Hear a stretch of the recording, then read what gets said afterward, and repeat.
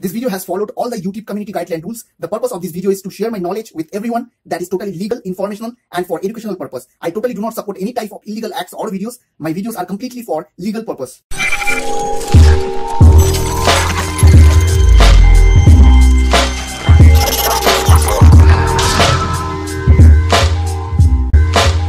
Hey what's up guys welcome back to my channel Tricknology and in this video I'm going to show you how to use your pen drive to boost up your computer speed. So you just need to follow me and don't forget to subscribe my channel because it's really encouraged me and motivate me to make more videos like this and as well as you will get a notification whenever I will upload a new tech related videos on my channel. So please do subscribe, it's free. So as you can see here is my pen drive. So I need to insert this pen drive on my computer, okay?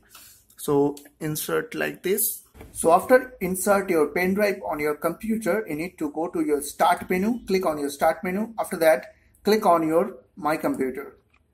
So you need to open your my computer and here is my pen drive. As you can see, 1.45 GB is free. So I need to right click on my pen drive and after that scroll down, scroll down and you need to click on this option is called properties. So click on there and after that go to this option is called ReadyBoost okay? Now you need to click on this use device and after that from here you can set how much MB RAM you need to boost up for your computer okay?